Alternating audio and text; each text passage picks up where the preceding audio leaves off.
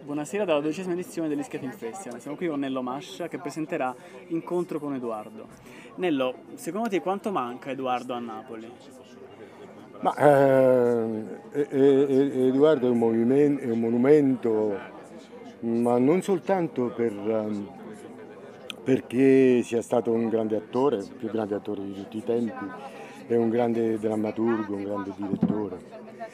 Ma quello che ci lascia Edoardo è, il, è, è l'esempio di come si deve fare questo mestiere, di come questo mestiere va affrontato, con il rigore che lui aveva, con la passione che lui aveva e con le rinunce che lui ha fatto per, per uh, fare la sua attività, eh, rinunciando a tutto praticamente, dedicando la sua vita esclusivamente all'attività teatrale.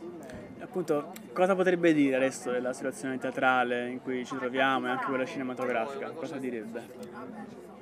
Edoardo continuerebbe a dire fuite venne, ma non, fuite venne proprio dall'Italia, nel senso che è un momento di grande barbarie dove in cui voglio dire i giovani sono privati del futuro, in cui la cultura è considerata un'attività, non dico secondaria, secondaria ma inutile.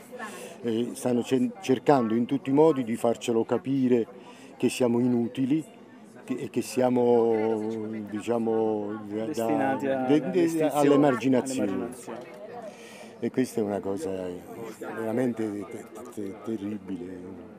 Non è, un, non è, un, paese civile quello che non eh, considera l'arte come un momento di formazione per eh, le nuove generazioni. Quindi non siamo un paese civile. E secondo lei, appunto ha detto Edoardo, più grande attore, andrebbe insegnato nelle scuole, andrebbe inserito proprio nei percorsi accademici particolari? Eh certo, voglio dire... Più di quanto si è inserito attualmente? Ma guarda, eh, questo discorso è un discorso veramente inutile perché eh, sento sui giornali che eh, nei prossimi anni si escluderà la, lo studio della storia dell'arte in Italia cioè il paese che ha l'80% dei beni no, de, de, de, della, della, cultura mondiale, eh, questo paese esclude dalla materia di studio la storia dell'arte, quindi di che cosa parliamo? di che cosa vogliamo parlare? Eh, Edoardo certo che andrebbe studiato, ma come Edoardo eh, andrebbero studiati i grandi, i grandi classici non soltanto del teatro, ma i grandi classici della letteratura Mm, oltretutto i giovani dovrebbero essere educati all'esercizio del bello e questo in Italia non, non c'è proprio. Siamo molto lontani. Siamo molto lontani. Lasciamoci con un ricordo che, che lei ha di Edoardo in particolare. Ma eh, eh potrei raccontare un aneddoto, ma è molto lungo. Eh, comunque mm, il ricordo che ho di lui eh, e quando mi invitò a mangiare il ragù. Io sono eh, orgoglioso di questo eh, momento. E, insieme ad altri, altre persone fece una tavolata non nemmeno molto numerosa e, ci, mi invitò a mangiare questo ragù, io ero giovanissimo, avevo 23 anni 24 anni. E, e quindi si, stava, si, si taceva, eh, si mangiava, si assaporava, si diceva è buono.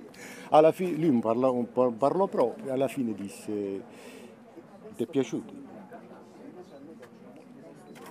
E se ne andò. E un'altra cosa bella che voglio raccontare, breve, posso raccontare? Come no? Eh? Ma io ne tengo tanti di, me, di, aneddoti di Edoardo, per dire Edoardo chi era. Eh, questa è brevissima, eh, ma è molto carina. Ehm, eh, facevamo, io ho lavorato per poco tempo con lui. Ehm, eh, un, bisogna eh, premettere che eh, quando si lavorava con Edoardo era una specie di chiesa, come devo dire, una sorta di, no, di rito. No? Sacralità. Cioè. Una sacralità, non si parlava. Non, per, non, io passando davanti al camerino di Edoardo che era chiuso, eh, fece uno starnuto. Edoardo uscì. Non parlava con nessuno, Edoardo non ha mai parlato con nessuno, non ha mai rivolto la parola a nessuno dei suoi attori. E mi disse, sei raffreddato? E io dissi, no, disse, no aspetta un momento.